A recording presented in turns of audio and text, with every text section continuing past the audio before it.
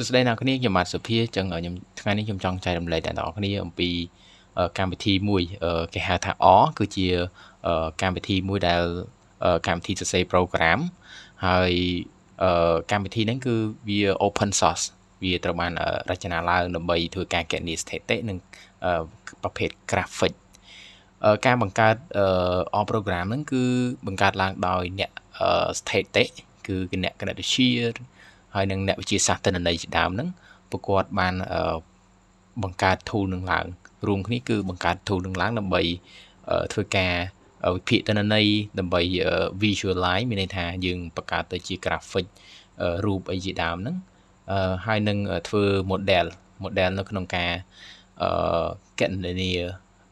នៅក្នុង statistic ហ្នឹងអញ្ចឹងការប្រើប្រាស់កម្មវិធី all program ហ្នឹងគឺ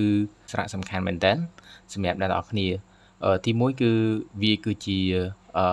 កម្មវិធីមួយដែលអាចអនុញ្ញាតឲ្យអ្នកទាំងអស់គ្នា អាចកណនាស្ថិតិបានមានន័យថាអ program នឹងត្រូវបានគេប្រើយ៉ាងទូលំទូលាយនៅក្នុងការកណនាស្ថិតិហើយនឹងការវិភាគទិន្នន័យអញ្ចឹងវារួមបញ្ចូលមុខងារជាច្រើននៅក្នុងស្ថិតិនិងគណិតវិទ្យាដែល វាคล้ายទៅជាឧបករណ៍មួយដែលមានអត្តពលខ្លាំងមែនទែនសម្រាប់អ្នកស្រាវជ្រាវសម្រាប់អ្នកស្ថិតិនិងអ្នកគេហៅថា data science ខាងអ្នកវិទ្យាសាស្ត្រទិន្នន័យគេហៅ data scientist ចំណុចទី2គឺតកតងជាមួយនឹងអឺអឺ data analysis and visualization ក្នុងការវិភាគទិន្នន័យអូខេខាងវិភាគទិន្នន័យ ហើយនឹង visualization មានន័យថាបង្កើត graphic រូប graph អីជាដើមហ្នឹងគឺមើលទៅវាមានស្អាតហើយនឹង standard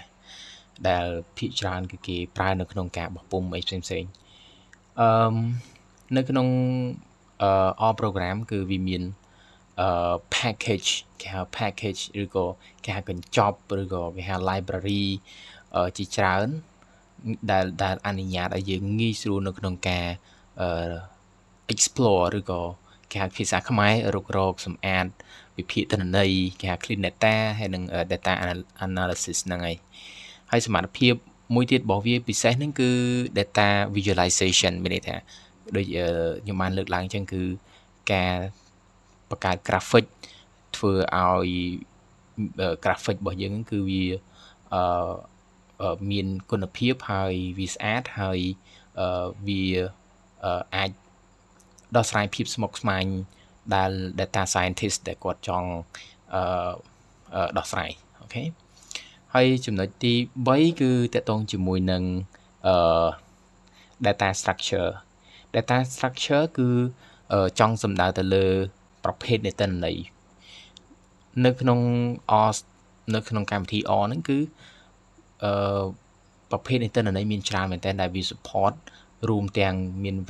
ប្រភេទបែប vector matrix data frame list ហើយមានច្រើនទៀតអឺមាន save file មានអីជាច្រើនទៀតដែលដែលវា support អញ្ចឹងអ្នកនរគ្នាបើចង់ដឹងច្រើន គឺយើងអាចចូល explore បានជាមួយនឹង all program ហ្នឹងគឺវាពិសេសមែនទែនមួយវិញទៀតគឺតកតងជាមួយនឹង extensive package ហើយនឹង ecosystem របស់វាហ្នឹងអឺ វាចង់សំដៅទៅលើភាពខ្លាំងរបស់ on ហ្នឹងគឺស្ថិតនៅលើ ecosystem របស់វាហ្នឹងហើយ package extension ហ្នឹងហើយមានន័យថាគេបង្កើត extension ឬក៏ library ហ្នឹងរាប់ពាន់រាប់ម៉ឺននៅក្នុងអឺ program ហ្នឹងហើយគេអាចដាក់ឲ្យយើងទាញយកប្រើដោយ free អញ្ចឹងមានន័យថាអ្វីក៏មានដែរ function អីក៏មានដែរសម្រាប់ statistic ហ្នឹងអញ្ចឹងវាធ្វើឲ្យ all program ហ្នឹងគឺវាខ្លាំងហើយចំណុចមួយទៀតគឺតកតងជាមួយនឹង reproducibility លើការនៅក្នុងកិច្ចការស្រាវជ្រាវឬក៏ការវិភាគទិន្នន័យហ្នឹងគឺសំខាន់មែនតើការ reproduce នឹងមានន័យថាយើងអាចកែវាឡើងវិញយើងអាចអឺប្រើមានន័យថាទាញជាវាយកមកប្រើឡើងវិញអូខេ ចឹងវាខុសប្លែកពីនៅក្នុង Excel បើនៅក្នុង Excel បើខុសយើងត្រូវធ្វើសារឡើងវិញទាំងអស់ប៉ុន្តែនៅក្នុង all program គឺពេលដែលយើងមានការ suggest មកពីខាងសាស្ត្រាចារ្យដឹកនាំការស្រាវជ្រាវផ្សេងៗដែលគាត់ឲ្យកែឬក៏យ៉ាងម៉េចយើងគ្រាន់តែធ្វើការកែហើយយើងរ៉ានវីសាថ្មីគឺយើងអាចទទួលបានតនន័យអ្វីដែលយើងចង់បានអូខេអញ្ចឹងលក្ខណៈផ្អែកទៅលើអឺ លក្ខណៈរបស់ on ហ្នឹងគឺវា script មានន័យថាវាមានន័យថា script ហ្នឹងគឺការសរសេរហ្នឹងហើយការសរសេរហើយមួយវិញទៀតគឺតកតងជាមួយនឹង community ហើយនឹងការ support អញ្ចឹង community community ហើយនឹងការ support ហ្នឹងគឺតកតងជាមួយនឹងអឺអឺ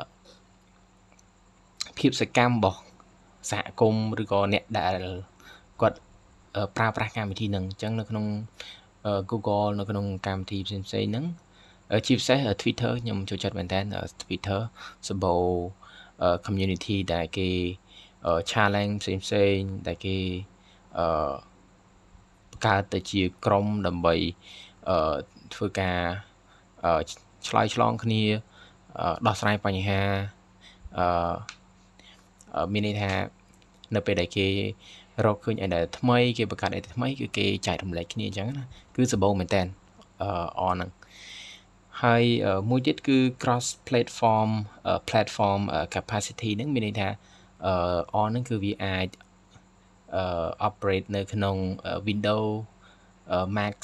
Linux គឺបានទាំងអស់អញ្ចឹងវាងាយស្រួលក្នុងក្នុងការប្រើអឺអ្នកនរគ្នានេះគឺជាវីដេអូដំបូងរបស់ខ្ញុំធ្វើការ ស្វែងយល់អំពីប្រភេទនៃតនន័យប្រភេទនៃតនន័យនៅក្នុងកម្មវិធី on program ហ្នឹងអញ្ចឹងអរគុណអ្នកនរគ្នាសម្រាប់ការតាមដាន ហើយសង្ឃឹមថាអ្នកនរគ្នានឹងអឺអាចបន្តការរៀនពីព្រោះថា on នេះគឺវាមានភាពខ្លាំងមែនតើនៅក្នុងបើសិនអ្នកនរគ្នាជាអ្នកស្រាវជ្រាវជាអ្នកគណិតវិទ្យាឬក៏ជា data scientist អ្នកនរគ្នាអាច explore បាន អូខេអរគុណអ្នកនរគ្នា